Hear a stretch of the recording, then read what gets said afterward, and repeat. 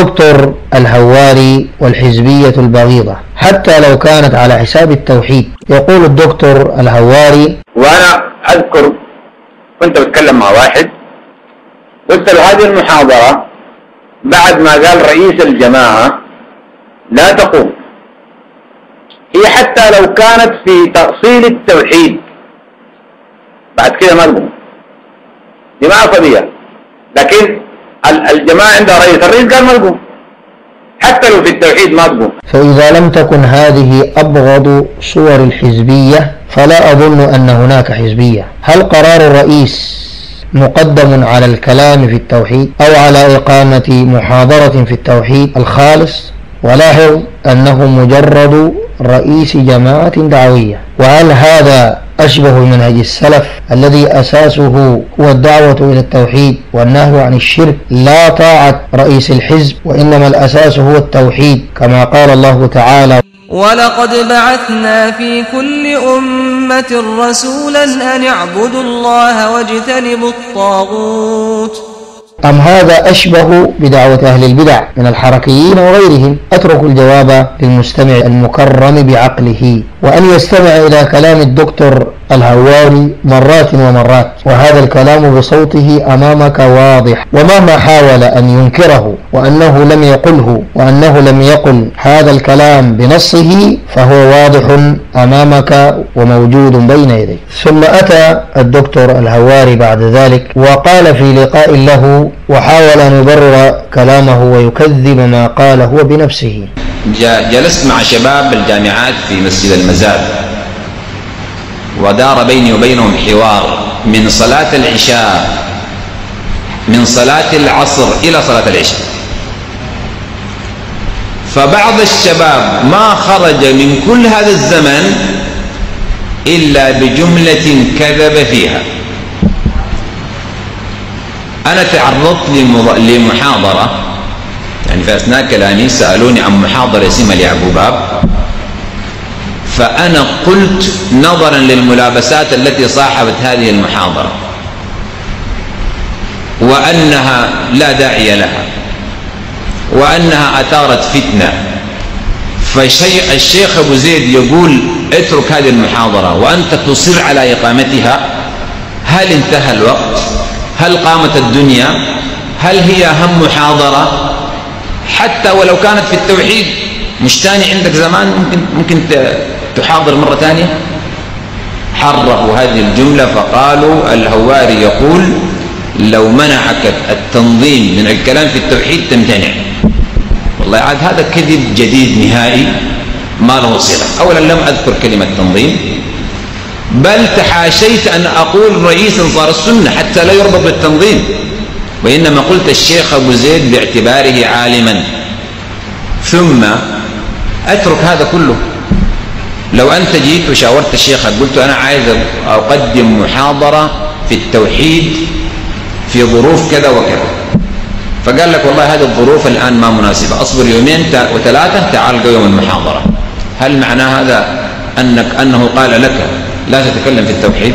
يقول لم أذكر كلمة تنظيم بل تحاشيت أن أقول رئيس أنصار السنة حتى لا يربط بالتنظيم. والآن هو قال الرئيس في هذا التسجيل.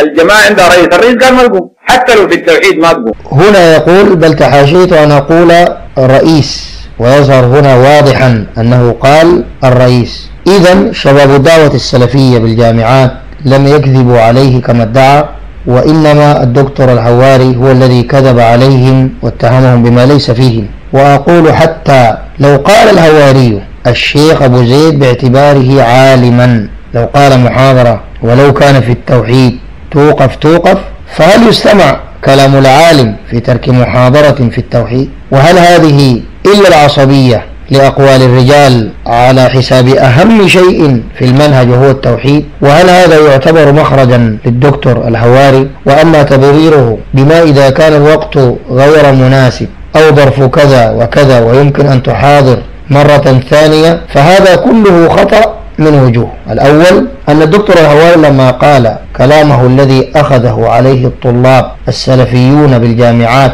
لم يكن فيه كل هذه التبريرات. واستمع إليه مرة ثانية.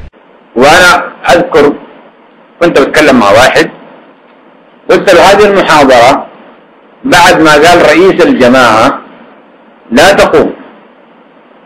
هي حتى لو كانت في تأصيل التوحيد. بعد كده ما تقوم.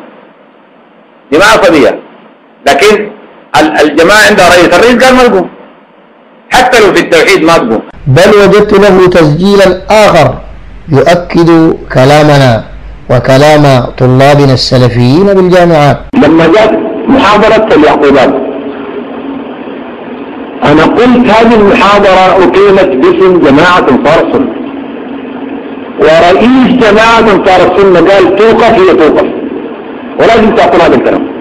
الوجه الثاني أن الدكتور الهواري الذي يحاول أن يبرر الآن بأنه لم يقل ذلك وأنه قال تؤجل لوقت آخر. هو نفسه الذي سماها أي محاضرة العقوبات سفها. يجي يجي انت عمرك كله انتماء في الدعوة سنتين تنتقد محمد حسين يعقوب وتقيم فيه كلام محاضرات ودروس وجرح ونقد. أنا قلت عندي ده والله سفه يا شباب. معلش مع كامل الاحترام لكن عندي ده سفه. فهل السفه يجوز عند الدكتور الهواري إقامته بعد حين وهو سفه عنده وأيضا قال محاضرة العقوبات غيبة ولا تجوز. واستمع إليه الآن. يقول لك يقول لك الشيخ قال أو فلان قال دليلك شنو قال؟ دليلي الآتي. واحد لأن هذه محاضرة قائمة على جرح شخص علنا. وهو من أهل السنة فهي في الأصل غيبة.